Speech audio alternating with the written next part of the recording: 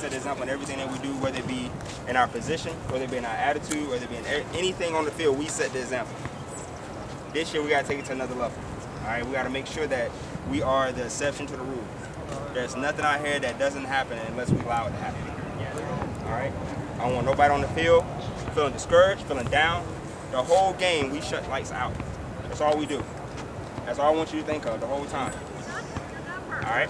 That's all I want everybody doing. And the Bible teaches that teaches us that um, aggressive men, or another Bible Bibles it says that uh, um, what I'm thinking about Corbin. Forceful. Forceful man. Thank you, Sean. Forceful man lay hold of the kingdom. Yes. This is the time to be forceful.